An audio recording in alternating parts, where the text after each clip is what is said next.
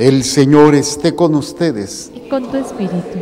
Proclamación de la buena nueva de nuestro Señor Jesucristo, según San Juan. Gloria a ti, Señor. En aquel tiempo vio Juan el Bautista a Jesús que venía hacia él y exclamó, Este es el Cordero de Dios, el que quita el pecado del mundo. Este es aquel de quien yo he dicho, el que viene después de mí tiene precedencia sobre mí, porque ya existía antes que yo. Yo no, yo no le conocía, pero he venido, yo no lo conocía, pero he venido a bautizar con agua para que él sea dado a conocer a Israel. Entonces Juan dio este testimonio. Vi al Espíritu descender del cielo en forma de paloma y posarse sobre él. Yo no lo conocía, pero el que me envió a bautizar con agua me dijo, aquel sobre quien veas que baja y se posa el Espíritu Santo, ese es el que ha de bautizar con el Espíritu Santo. Pues bien, yo lo vi y doy testimonio de que este es el Hijo de Dios. Palabra del Señor. Gloria a ti, Señor Jesús. Por la lectura del Santo Evangelio, sean perdonados nuestros pecados. Amén. Sentados. Tu palabra me da vida, confío en ti, Señor. Tu palabra es eterna, en ella esperaré. Dichoso el que con vida intachable camina por las sendas del Señor. Dichoso el que guardando sus preceptos lo busca de todo corazón. Tu palabra me da vida, confío en ti, Señor. Tu palabra es eterna, en ella esperaré. Qué importante es descubrir todo el potencial que tenemos como personas. Todos hemos sido dotados de grandes dones, de grandes capacidades. Desgraciadamente, con el tiempo, lo que va sucediendo es que se forman como capas que van impidiendo descubrir las maravillas que podemos llegar a realizar, los dones que Dios ha puesto en cada uno de nosotros. No los tenemos todos, en algunas cosas otras personas son más, digamos, dotadas que nosotros, pero nosotros, cada uno de nosotros, tendríamos que aprender a descubrir las cosas maravillosas que Dios quiere hacer a través de nosotros. Algunas veces nos hemos dejado, algunas veces hemos permitido que estos dones, que estas maravillas se, den a través de nosotros, pero la mayoría de las veces nos bloqueamos, nos impedimos. De muchas maneras se van tapando como una costra, o sea, ese ejemplo, una costra es un coágulo de sangre que se llena de tejido y que a veces pues se hace bulto, ¿no? Después se quita y queda la cicatriz. Pero hay otro tipo de cicatrizaciones que se llama cicatrización queloide. Es una cicatriz que forma este, como tumores, que en lugar de quede plana, queda una bolota, queda un tumor ahí. ¿Por qué? Porque está mal la cicatrización. Bueno, imagínense que nosotros tenemos como grandes capas que de alguna manera nos han impedido poder descubrir las cosas maravillosas que Dios va a hacer a través de nosotros. ¿Qué es lo que sucede? Suceden varias cosas. La primera de ellas es la ignorancia de lo que nosotros somos, quiénes somos realmente. A veces nos definimos por la apariencia, por el, la identidad sexual, por el lugar de nacimiento, por el trabajo, por el, el, oficio que realizamos, por las cosas que tenemos. Nos definimos de muchas maneras. Si yo les preguntaba, ¿quién, quién eres tú? Uno no va a decir, pues yo soy hombre. Y si le pregunto a otra persona que utilice otro, otro calificativo que no sea género, pues bueno, yo soy adulto Bueno, otra, otra definición que no sea ni género, ni edad o, estado de, de- de- de calificación en cuanto a la edad, adulto, niño, joven. ¿Qué otra manera tienes para definirte? No, pues a lo mejor otros van a decir, pobre, a tu nombre, pues yo soy Jorge. Ok, ya tenemos el nombre, tenemos el estado sexual, ya tenemos la edad. ¿Qué otra cosa? Ah, pues yo soy profesión, yo soy médico. ¿Qué otra cosa? Bueno, la religión, yo tengo fe católica. ¿Qué más? Yo soy mexicano, se me nota el nopalote en la frente. ¿Qué más? Ya dijimos la profesión, ya la profesión no se vale repetir otra cosa que pueda definirte quién eres. Ya dijimos que somos católicos. Personalidad, soy agresivo, soy alegre, soy una forma de ser. ¿Cuál es mi personalidad? ¿Qué otra forma? ¿Qué otra forma tenemos para poder decir lo que somos? Ya lo dijimos como, como, como católicos. ¿Qué más? Bueno, tengo valores, ¿qué tipo de valores tengo? ¿Qué más? El estado a lo mejor de una personalidad humilde, soberbia, ok. O sea, podemos llenarnos de muchas cosas. ¿Qué pasaría si perdiéramos a la familia? Porque yo también puedo ser hermano, puedo ser padre, puedo ser esposo. ¿Qué pasa si nos quitan todo eso? Porque muchas veces sucede eso. ¿Quiénes somos entonces? Y ahí es cuando la esencia es de dónde venimos, de quién venimos. Pueden quitarme, pueden quitarme todo. Lo que no me van a quitar nunca es que Dios me ama. Eso nadie me lo puede quitar. Y esto es lo que me da la mayor identidad. Porque cuando perdemos algo o perdemos a alguien, sentimos que nos morimos. Y hay gente que se muere literalmente, ¿eh? se suicida. Si no, literalmente van perdiendo las ganas de vivir. Creo que a todos nos ha pasado en algún momento, más a los adultos, pero piensan que los niños, este es un error muy grande, ¿eh?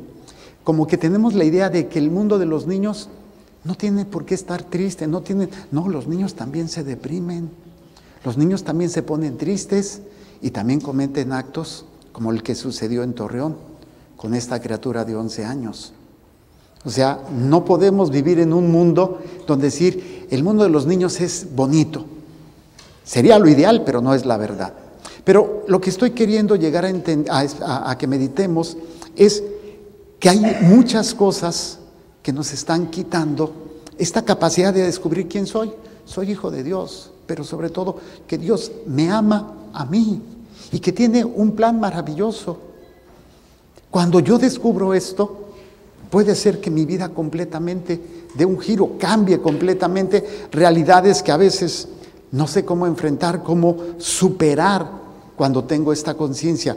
Obviamente, ¿qué es lo que impide este conocimiento o este entendimiento? Muchas veces nuestro propio pecado.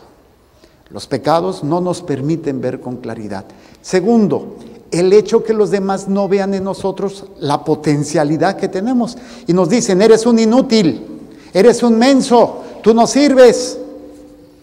Hace rato platicaba con un niño y él me decía, es que soy un burro. No eres un burro. No permitas que nadie te diga que eres un burro. Puede ser que te cueste trabajo y que no seas tan aplicado como tu hermano, como tu hermana o como tu papá. Pero no quiere decir que eso te haga menos. Te cuesta trabajo, le tienes que echar más ganas.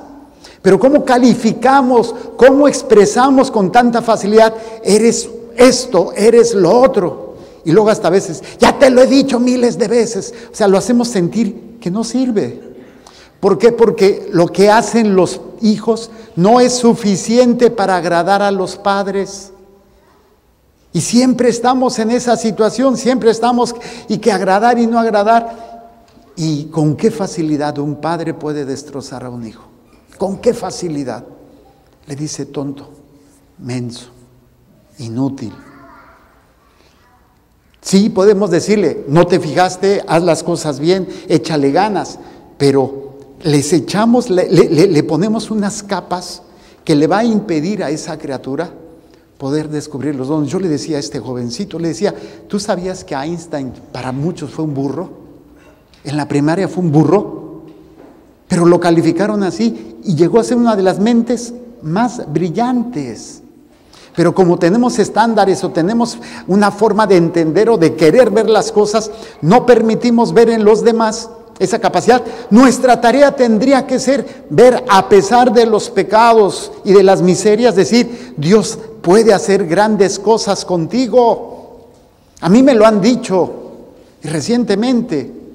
¿Sí? Oye, es que Dios, si tú te dieras cuenta, y a veces nuestras miserias, nuestros pecados, la culpa que cargamos, los traumas que tenemos y todas esas situaciones que constantemente están ahí, no nos permite ver lo que Dios puede hacer a través de nosotros. Por eso la primera lectura es una lectura que se tiene que leer para nosotros. Obviamente es el Antiguo Testamento es una profecía, se refiere primeramente a Israel y obviamente recae en la persona de Jesucristo. Pero nosotros también somos parte de esta lectura. Somos parte de esta enseñanza maravillosa. Por eso dice el texto, dice así, el Señor me dijo, tú eres mi siervo. ¿Tú eres qué? ¿Qué significa siervo? El que sirviente. Esa palabra que no es mala, pero casi siempre la usamos en tono ofensivo, peyorativo, humillante, el sirviente. Pero que no es que sea malo, o el siervo, el que sirve. No es lo mismo servir porque te sientes inferior y te oprimen y tienes que servir a alguien que te oprime o alguien que, te, que es más que tú económicamente o lo que sea y te tiene así, aquel que tú vas a servir porque quiere que colabores con él. Tú solamente vas a ayudar a una obra muchísimo más grande. Entonces, en este sentido, hoy el Señor a cada uno de nosotros nos dice, tú eres mi siervo. ¿Qué quiere decir? Quiero que colabores conmigo. Yo soy el que dirige, pero ayúdame. O sea, si tú existes, es porque Dios te ha dado todo para que tú puedas colaborar con Él, para que tú puedas hacer algo extraordinario con tu vida. Por eso nos dice, Javier, tú eres mi siervo, René, Germán, tú eres mi, siempre te digo René, Germán, tú eres mi siervo, Dulce, tú eres mi sierva. A cada uno de nosotros nos dice, tú eres mi siervo. El problema es que, ¿cómo vemos a Dios? Como el que me tiene que servir. Y por eso le pido, y por eso le exijo, y por eso ando haciendo tantas cosas para que Él me sirva. Yo soy el que sirve a Dios y Él me llama y dice, tú eres mi siervo Israel. Aquí cambien el nombre, obviamente es para Jesús, pero si nosotros somos parte de Jesús, también es para nosotros. Dice, tú eres mi siervo, en ti manifestaré mi gloria. ¿Para qué sirvo a Dios? Para que a través de mí se manifieste la gloria de Dios. A través de mí vean la gloria de Dios y no me vean a mí. Vean aquel que me está dando su gloria. Si yo soy madre, si soy padre y sirvo a mis hijos, no es para que mis hijos me vean a mí, qué bueno soy, todo lo que me he sacrificado. Soy padre, soy madre, soy esposo, soy esposa, para que a través de mí vean la gloria de Dios. La grandeza de Dios, el amor de Dios, el poder de Dios. Entonces, todos somos servidores. Cada uno en el lugar que nos tocó. A esta jovencita le tocó ser hija, le tocó ser estudiante. Y va a ser un día esposa y mamá de 20 hijos. Eso espero. Pues sí que valga la pena. ¿Qué va a ser? Va a ser una servidora una servidora, y que a través de lo que ella haga se vea quién, la gloria de Dios. ¿Se ve a quién? o la gloria de ella. ¿Para qué hago las cosas? Porque me siento bien y me agrada que me reconozcan. Es que ni las gracias me dijo. Es que yo tanto que me he sacrificado y nada ni nada. Yo que me he dado completamente y no me reconoce, no me da. Estás buscando tu propia gloria. Pero cuando buscamos que la gloria de Dios sea manifestada a través de nuestro servicio, van a ver cosas extraordinarias a través de ustedes. Los milagros tendrían que darse, pero no es lo más importante los milagros. Lo más importante es que la gente conozca a Dios. Y lo dice el profeta más adelante, dice así. Ahora habla el Señor, el que me formó, este, dice, tú eres mi siervo, Israel, en ti manifestaré mi gloria. Y luego dice el profeta, ahora habla el Señor, el que me formó desde el seno materno. O sea, si tú estás aquí, no es obra de la casualidad. Y no me refiero aquí ahorita, en este momento, en la existencia. Si tú existes, independientemente si fuiste deseado o no deseado, si eres producto de una violación, si eres producto de una cuenta mala, si eres producto de que no sirvió el método anticonceptivo, lo que tú quieras. Fuiste llamado para algo extraordinario. Y esto es lo más importante. Las circunstancias de tu nacimiento, las circunstancias de tu, de tu concepción, eso, pues a lo mejor muchos de nosotros, a lo mejor sí fuimos concebidos con amor o a lo mejor no. Lo que sí cuenta es que Dios me ha llamado a la existencia. Ya con eso se tiene que esperar cosas extraordinarias de mí. Por el, por el hecho solamente de existir. ¿Quién me está disparando?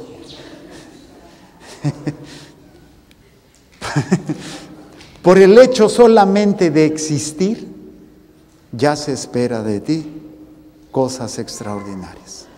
No eres un error, no eres una equivocación, no eres producto de algo malo, independientemente de los errores de tus padres. Descúbrelo y empezarás a ver cosas extraordinarias a través de ti. Dice, ahora me habla el Señor, el que me formó desde el seno materno, para que fuera su servidor. ¿Para que fuera qué? Su servidor. Yo pregunto, ¿Cuántos de nosotros hemos servido a Dios? Yo sí lo hago, Padre, yo soy ministro de la Eucaristía, yo soy catequista, yo soy sacerdote y puedo no ser servidor de Dios. Óiganlo bien, porque puedo hacer las cosas para servirme a mí, aunque lo haga en nombre de Dios. Por eso el Señor te ha dado la existencia para que lo sirvas y en el servicio se manifieste su gloria a través de ti.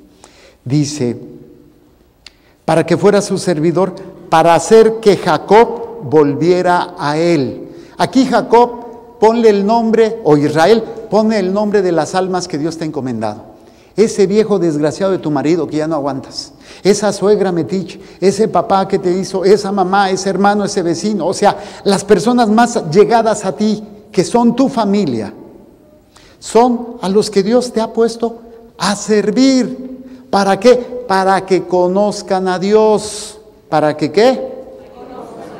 O sea, no es solamente hacer los actos por hacerlos, tiene una trascendencia para que a través de lo que yo hago, Dios sea conocido, dice, para hacer que Jacob volviera a él y congregara a Israel en torno suyo. Así, tanto así, me honró el Señor y mi Dios fue mi fuerza. O sea, es un honor. Ganar un alma para Dios es un honor. Imagínate, ¿para qué Dios te dio esas dos bellezas? Para servirlos y llevarlos a Dios. Nada más. Desgraciadamente, muchos a lo mejor lo hemos entendido ya muy grandes, muy viejitos. Pero no importa, no quiere decir que no podamos hacerlo, empezar a hacerlo. O sea, para congregar a Israel, para congregar a mi familia, a mis seres queridos, hacia Dios. Padres que no se dejan, no se trata que los traigas a fuerza a misa. No es la manera de congregar. Si son niños, tráelos. Pero si ya son jóvenes y ya, pues ni con amenaza los haces traer, los logras traer. Entonces, ¿cómo lo tienes que hacer? Y es lo que vamos a ver más adelante, a través de mi servicio. ¿Por qué hago lo que hago? ¿Para quién lo hago? Lo hago por Dios. ¿Para quién lo hago? Para mi familia. O sea, yo soy un portador nada más. Por Dios, para ustedes. Por Dios, para mi esposo. Por Dios, para mi esposa. Por es el que me da. Para es lo que doy. ¿Sí se explica? Entonces, cuando yo no lo hago por Dios, pues me voy a quedar vacío porque es la fuente. Y lo hago por mí, lo hago por lo que siento. Entonces, lo que doy, pues es nada, no es constante, no es bueno, no es agradable, porque es lo mío. Y ya sabemos cómo somos, que siempre damos lo mejor. Bueno, entonces dicho esto, no solamente es como cuando una persona tiene un don y, se descubre desde niño, ¿sí? Y ese don lo va desarrollando y ya no solamente es una cosa pequeña, sino que va siendo cada vez más grande. Por ejemplo, niños que cuando nacen, desde niños tienen la capacidad de la música, ¿sí? Y desarrollan ese don de una forma increíble. Algunos niños no tienen el ambiente necesario para desarrollarlo y ya de grandes lo descubren, pero desarrollan ese don. Cuando nosotros descubrimos el don que Dios me ha dado o los dones que Dios me ha dado, ya no se va a circunscribir solamente a mi familia, solamente a un grupo de personas allegadas a mí, se va a abrir para todos, que es lo que dice el texto. Dice, ahora pues, dice el Señor, es poco que seas mi siervo solo para restablecer a las tribus de Jacob y reunir a los sobrevivientes de Israel. O sea, es poco que solamente sea para un grupo determinado. Tu servicio tiene que abrirse a toda la humanidad, a todas las almas, y no porque te vayas a ir a predicar o que vayas a hacer cosas extraordinarias, sino porque tu vida misma para todos los demás se convierte en un servicio para Dios. Y es cuando dice, es poco que seas mi siervo, solo para restablecer a las tribus de Jacob y reunir a los sobrevivientes de Israel. Te voy a convertir en luz de las naciones. ¿En luz de quién? ¿Quiénes son las naciones? Los que no conocen a Dios. ¿Quiénes son los que no conocen a Dios?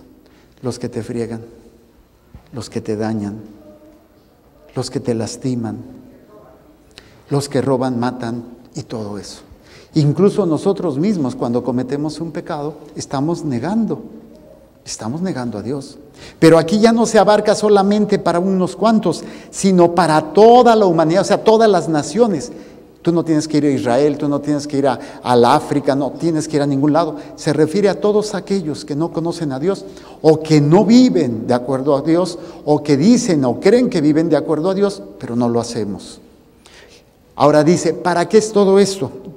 Dice, es poco que seas mi siervo solo para restablecer a las tribus de Jacob y reunir a los sobrevivientes de Israel. Te voy a convertir en luz de las naciones para que mi salvación llegue hasta los últimos confines de la tierra. Entonces, ¿para qué sirvo? Para que la salvación llegue a los demás. Dime qué tarea más importante puede haber que esta.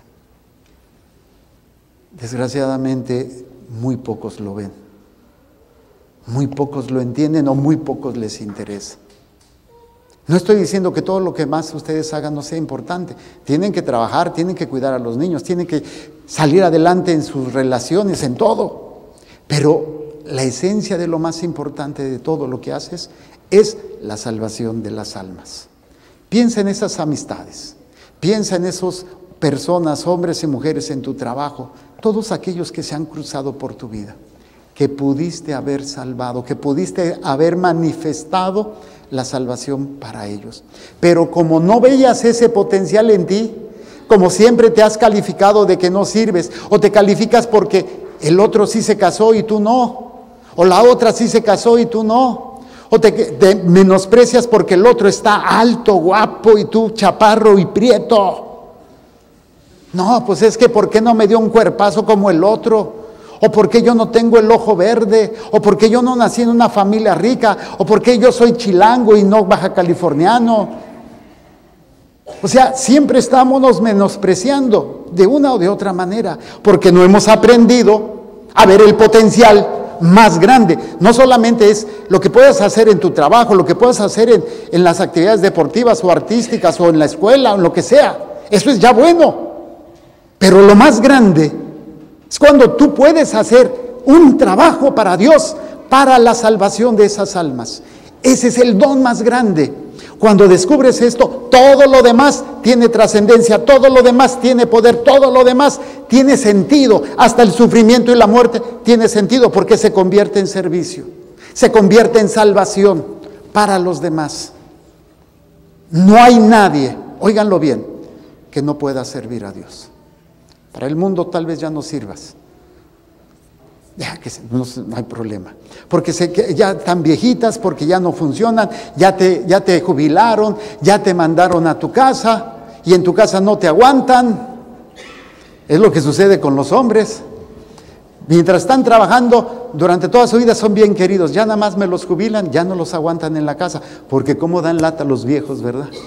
Dice ahí, padre, mientras mi esposo trabajaba yo estaba tan a gusto, ahora que me lo jubilaron ya no lo aguanto o más bien ya no se aguantan los unos a los otros.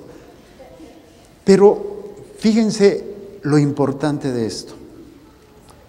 No hay nada más importante que servir a Dios. Y muy pocos lo han descubierto. Y más pocos lo quieren hacer. Por eso, ¿qué es lo que impide? La primera parte es esta lectura hermosa que nos ayuda a entender esto. El Evangelio es precisamente aquello que nos va a ayudar a poder descubrir esto. ¿Cómo? Fíjense las palabras que dice el Evangelio. En aquel tiempo vio Juan el Bautista a Jesús que venía hacia él y exclamó, este es el Cordero de Dios que quita el pecado del mundo. ¿Que quita qué? O sea, aquel que va a permitir que tú descubras la grandeza para la cual Dios te ha creado. Porque el pecado te quita esta identidad. El pecado te hace ser sordo, ciego y tonto. No veo, no oigo, no entiendo. Justifico el pecado. Puede ser que ya te hayas dado cuenta de tu pecado y que estés luchando. Yo les puedo decir, tengo pecados y estoy luchando. Pero es la lucha precisamente la que me va a permitir irme liberando. Algunos ya los he superado, todavía me falta otros, pero es una lucha continua de estar tratando de ser mejor, tratando, le cayéndome y levantándome. ¿Cómo? Solamente aquel que puede quitar el pecado. Desgraciadamente hoy el mundo nos ha robado todo esto. ¿En qué consiste? El primer paso que ha dado para que nosotros no tomemos conciencia del pecado, de que estamos mal, es cómo me doy cuenta de que hay un pecado. ¿Cómo me doy cuenta que ahí hay oscuridad? Porque hay luz, ¿sí o no? Si no hay ley, si no hay conciencia del mal, ¿va a existir el mal? Digo, si no hay conciencia del bien, ¿va a existir el mal? No. Porque como no hay nada que te diga que es bueno, que es malo, tú lo puedes hacer. Fíjense la estrategia que se ha dado. El primer paso para que tú pierdas todo esto se dio hace muchos años, cuando nos han quitado la conciencia de lo sagrado. No ha sido un golpe de una sola vez, ha sido gradual. No estoy diciendo que sea malo lo que estamos haciendo ahorita, pero les voy a explicar por qué digo esto. ¿Cuántos de ustedes, aquí tengo una señora, ¿cuántos años tiene usted? 78. ¿Usted iba a misa de niña? Sí, cuando había. ¿Se acuerda cómo era la misa? En latín. ¿Sí? Bueno, en aquellos tiempos la misa era en latín, antes de 1965. Era la famosa misa tridentina. Y era una misa extraordinariamente misteriosa, llena de misterio, pero un misterio sagrado. Era maravillosa, donde el sacerdote no daba la espalda al pueblo, el sacerdote estaba de frente a Dios intercediendo por el pueblo. Todo momento, a mí me tocó celebrar misas tridentinas. Este, y de verdad, al, al principio a mí me dio así como que se me hizo demasiado porque pues nunca había vivido una misa tridentina, me puse a estudiar, traté de aprender. Cuando empecé a celebrarlas, me fascinó, porque cada paso, cada movimiento, cada acto tiene un simbolismo, tiene un significado de estar presente ante el misterio de Dios. Nos quitaron eso, ok, y se hizo la misa que ahora tenemos. ¿Cuál fue lo primero? Se va a hacer en el idioma de cada país. No está mal, ok, se hace. El sacerdote ya no va a estar dirigido hacia el Dios, va a estar dirigido al pueblo. ¿Qué es lo que pasa? El sacerdote se distrae con ustedes. ¿Sí o no? ¿Cómo están? ¿Qué están haciendo? ¿Cómo vienen vestidos? ¿Quién sale? ¿Quién entra? Y está el sacerdote de babotas ahí viendo. Se distrae de lo sagrado. Luego, si vienen con minifaldas y todas despechugadas, Perdóneme, pero es la verdad. O sea, el sacerdote tendría que estar concentrado en lo sagrado. Bueno, ok, se da esta situación. Y luego se va perdiendo cada vez más esta conciencia. Antiguamente, cuando yo estaba chico, no me tocaron misas en latín, pero sí las misas en donde después de la consagración todos nos quedábamos hincados hasta antes del Padre Nuestro. Todavía cuando yo estaba joven se quitó eso. Ya no te tienes que hincar. Te puedes hincar o no te puedes hincar. Cuando realmente lo que está sucediendo es el acto más grande de amor, el milagro más grande cuando el cuerpo y la, el pan y el vino se convierten en el cuerpo y la sangre. Y la gente ya no entiende lo sagrado. Y luego aparte de esto, están, quitaron los reclinatorios. ¿Se acuerdan? Las iglesias antiguas tenían sus reclinatorios y toda la gente se hacía filita y el sacerdote iba dando la comunión. Ahora no. ¿Cómo dan la comunión? Parados. Y algunos en la mano. Estamos perdiendo la conciencia de lo sagrado. La presencia de Dios. Si no hay presencia de Dios, ¿qué va a pasar? No hay conciencia de pecado. Y si no hay conciencia de pecado, pues ¿para qué vino Jesús? Si Él venía a quitar el pecado, pues de nada sirve. Y esto es lo que nos están haciendo, nos están quitando esto. Y luego se ha protestantizado tanto la misa en algunas cosas, por ejemplo el Padre Nuestro, que luego se ponen así.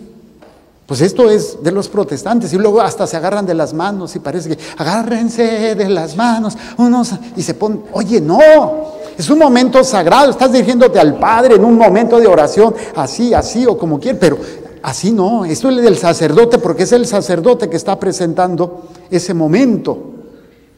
¿Sí? O ¿por qué también los sacerdotes dan la comunión parados? Porque es más rápido, para no perder tiempo. Oye, no estás haciendo tortillas, estás entregando el cuerpo de Cristo para que la gente tome conciencia de lo que está recibiendo. No es nada más cualquier cosa. Si nos quitan la conciencia de lo sagrado, nos quitan la conciencia del pecado. La luz me permite ver dónde hay oscuridad. Si no hay, si no hay la luz, yo me voy a acostumbrar a la oscuridad. Y entonces, ahora no hay pecado. Cuando yo era, estaba estudiando medicina, yo ya había terminado la carrera de medicina, no me acuerdo qué HH presidente decretó, por decreto presidencial ya no hay polio. Yo dije, ah, mira, a través de la ley matamos a los virus. ¿Para qué tanta vacuna? Pues nada más que lo decrete el presidente y ya se acabaron las enfermedades. Dice, ya no hay cáncer, se acabó el cáncer, lo decretó el presidente. Uy, que así fuera. No, pero mire, se está muriendo. No, no, no, no existe el Se murió de, por, menso, pero no de cáncer. ¿Cuál es el problema? La homosexualidad no es pecado, por decreto. El aborto no es pecado, lo apoya la ley. ¿Qué diferencia hay? Si esto le agregamos nuestras propias leyes o nuestra forma propia de justificarnos, nos acostumbramos al pecado y ya no lo vemos como pecado. Eso es lo más triste. Nos quitan la conciencia de lo sagrado, de la presencia de Dios, nos quitan la conciencia de nuestras miserias. Y entonces, ¿de qué sirve estas palabras que dice Juan el Bautista? Este es el Cordero de Dios que quita el pecado. ¿No lo dice el sacerdote? Cuando presenta el Santísimo dice, este es el Cordero de Dios que quita el pecado del mundo. Dichosos ustedes, invitados a la cena del Señor. ¿Y qué dicen? Mm, Señor, yo no soy digno de que entres en mi casa pero una palabra tuya bastará para sanar mi alma. Pero ya no lo hacemos, no lo entendemos, no lo vivimos. Por eso es tan importante entender que Dios tiene un plan maravilloso para nosotros. No lo puedo entender, no lo puedo ver porque el pecado no me lo permite y justifico mi pecado. Por eso necesito de Cristo que es el que me va a quitar esta venda, me va a quitar esta, esta situación de pecado y me va a poder permitir descubrir cómo voy yo a servir a Dios, cómo yo voy a poder servir a los demás para que vean la gloria de Dios, el amor de Dios. Esto lo podemos entender en lo que dice Pablo a los Corintios. A todos ustedes, a quienes Dios santificó en Cristo Jesús y que son su pueblo santo. Somos el pueblo santo de Dios. Estamos manchados por el pecado. El pecado nos tiene dominados. Algunos, a lo mejor todavía no se descubre completamente todos los pecados que tenemos. Por eso necesitamos de la luz. Por eso necesitamos de Jesús, de lo sagrado. Lo sagrado me permite ver lo que no es sagrado en mí, lo que no es de Dios. Necesito de Dios para poder ser de Dios, para poder vivir como hijo de Dios. Y es necesario que cada uno de nosotros entendamos la misión tan grande. Dios quiere salvarte y quiere salvar a tus seres queridos a través de ti. ¿Estás dispuesto? ¿Quieres hacerlo? Nadie te va a obligar. Pero ojalá que un día, y espero que sea hoy, puedas descubrir el potencial tan grande que tienes. Si te dijeron que eres un inútil, un hijo de la fregada, o de la guayaba o de la tostada, si constantemente están recordándote tus errores, tus miserias, y esto te hace que tú no creas en ti. Por una parte es bueno que lo recuerdes tus miserias, pero por otra parte es bueno que busques el arrepentimiento, pidas ayuda y sobre todo te dejes salvar y perdonar por Dios. Y a veces parece más difícil de lo que creemos. Pero Dios siempre, siempre cree en nosotros y quiere hacer maravillas en cada uno de nosotros. Vamos a hacer un momento de silencio. Cierren sus ojitos y meditemos en esta palabra, que es lo que esta palabra me ha dicho hoy a mí ¿Me siento una persona especial para Dios? ¿O dependo de lo que aparento físicamente o de lo que tengo o de lo que hago para sentirme importante? Dependo de la aprobación, el aplauso de los demás, el reconocimiento.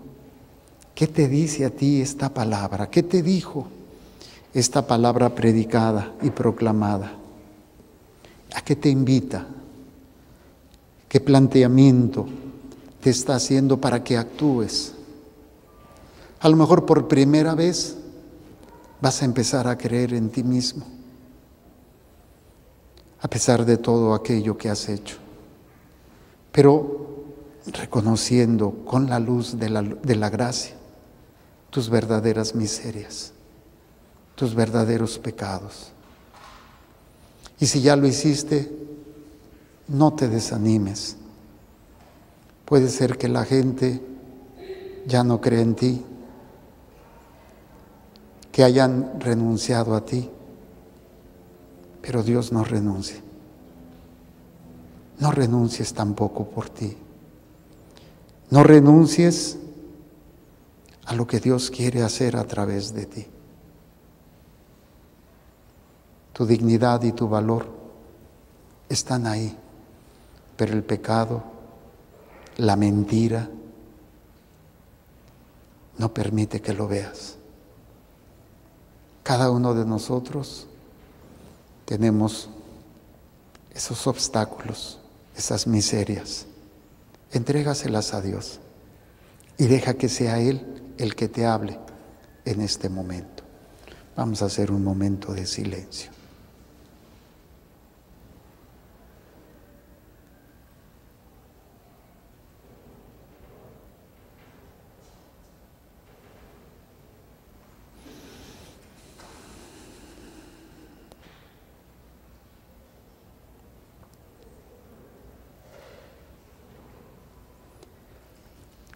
Al, est al, estar en silencio adoramos. Cuando escuchamos la palabra de Dios, adoramos, porque es Dios quien habla. Y abrazo esta palabra, la hago mía y me hago obediente a esta palabra. Ahí estoy ya adorando a Dios.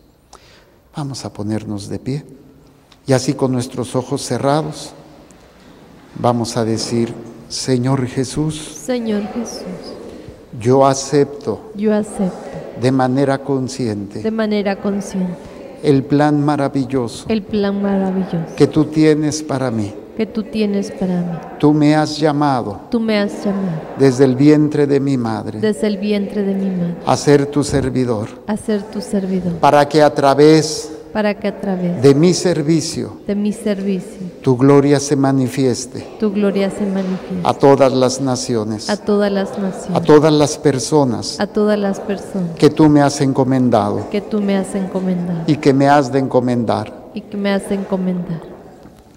Señor Jesús, Señor Jesús, yo te entrego yo te entrego estas miserias, estas miserias, estos pecados, estos pecados.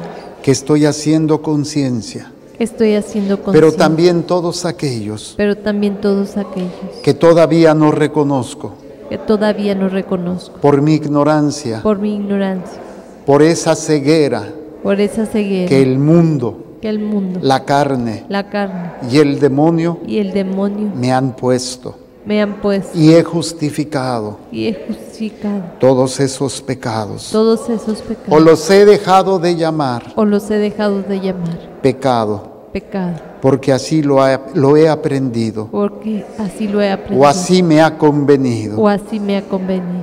Pido perdón Pido perdón. en el nombre de Jesús en el nombre de Jesús por todos los momentos por todos los momentos que con mis que palabras, con mis palabras, con mis mis acciones, acciones, yo robé yo robé la gloria de Dios. la gloria de Dios. No supe ser ese servidor No supe ser ese servidor en esas almas en esas almas que Dios me ha encomendado. en que Dios me encomendó. Pido perdón Pido perdón por ocultar en estas personas por ocultar en esas personas el plan de Dios de con mis ofensas, por mis ofensas, con mis acciones, con mis acciones, con mis pecados. con mis pecados. Les he robado Les he robado esta conciencia esta conciencia del amor de Dios, del amor de, de Dios, la gloria de Dios. De la gloria de Pido Dios. perdón a mis padres, Pido perdón a mis padres, a mis hermanos, a mis hermanos, abuelos, abuelos, tíos y primos, tíos y primos, amigos y enemigos, amigos y enemigos, parejas sentimentales, pareja sentimental, noviazgos, noviazgo, matrimonio, matrimonio,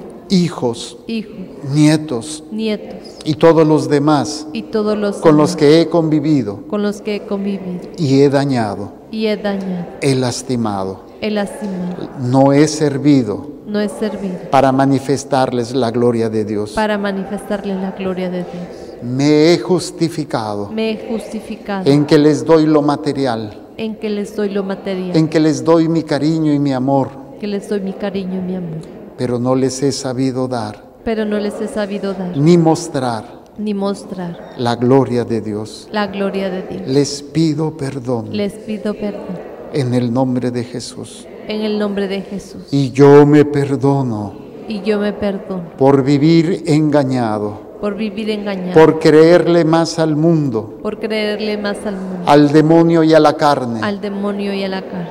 Todas esas mentiras Todas esas mentiras y que me han robado y que me han robado el ser servidor de Dios, el ser servidor, el descubrir en mí el descubrir en mí ese potencial ese potencial del amor, del amor, del servicio, del servicio, de la gloria de Dios. de la gloria de Dios. Me perdono Me perdono porque me he degradado, porque me he degradado, me he lastimado me he lastimado con el pecado con el pecado y lo he justificado. y lo he justificado. Pido perdón y me perdono. Pido perdón y me perdono. Y perdono a todas las personas Y perdono a todas las personas que me han dañado, que me han dañado, que me han lastimado, que me han lastimado, que me han ofendido, que me han ofendido, pero sobre todo pero sobre que todo no han, que no han sabido que no han sabido mostrarme la gloria de Dios mostrarme la gloria a de través Dios de su servicio. a través de su Yo servicio. perdono a mis padres, Yo perdono a mis padres, hermanos, abuelos, abuelos, tíos y primos, tíos y primos, amigos y enemigos, amigos y enemigos, parejas sentimentales, parejas sentimentales, parejas en el noviazgo, parejas en el noviazgo, en el matrimonio, en el matrimonio, a mis hijos a s- mis hijos y a todos los demás. y a todos los demás. Yo les perdono Yo les perdono por el escándalo, por el escándalo, por el pecado, por el pecado, por el daño por el daño que me hicieron que y por negarme y por negarme esa gloria de Dios. esa gloria de Dios Por todas las veces por todas las veces que me dijeron palabras que me dijeron palabras ofensivas, ofensivas, denigrantes denigrantes y que yo me las creí. y que yo me las Yo les perdono yo les perdono en el nombre de Jesús. En nombre Y también en el nombre de Jesús también en el nombre de Jesús. reprendo, reprendo ato y amordazo, ato y amordazo corto y destruyo corto y destruyo toda obra de Satanás, toda obra de Satanás toda brujería, toda brujería hechicería, hechicería magia, magia espiritismo, espiritu- espiritualismo, espiritualismo, evocación de muertos, evocación de muerte limpias, limpias. Ouija, ouija. Masonería, masonería. Gnosticismo, gnosticismo. Adivinación, adivinación, premonición, premonición. Todo daño. Todo daño. Hecho a través de personas, hecho a través de personas. De cosas. De cosas. Y de lugares. de lugares. En el nombre de Jesús en el nombre de Jesús. me quito la venda para la venda, para hacer conciencia de mis pecados de mis pecados y de mi necesidad y de mis necesidades del Cordero de Dios del Cordero de Dios que quita mi pecado. que quita mi pecado Reprendo, ato y amordazo reprendo y amordaz toda obra de Satanás toda obra de Satanás en el pasado, en el pasado. En el en presente el presente. o para el futuro, o para el futuro. Que se haya hecho que se haya hecho. en contra de mi persona, en contra de mi persona. de mi familia, de mi familia. de mi casa, de mi casa. pertenencias y trabajo. pertenencias Y lo mando a los pies de Jesús y los mando a los pies de para que Jesús, nunca más para que nunca más vuelva a perturbarme vuelva a perturbar ni a dañarnos. ni a dañar. Y en el nombre de Jesús y en el nombre de Jesús le entrego a Dios entrego a ti. Por manos de María por manos de María. mi alma, mi alma.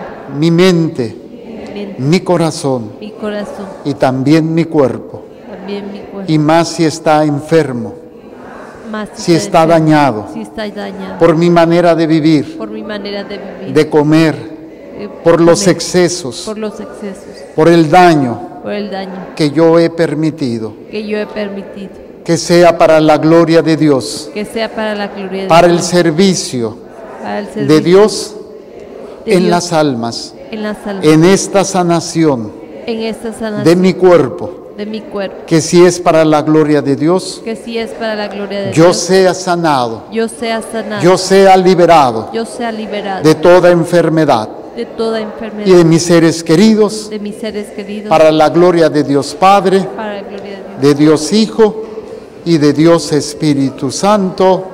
Amén. Pongan sus manos en su corazón y yo los bendigo.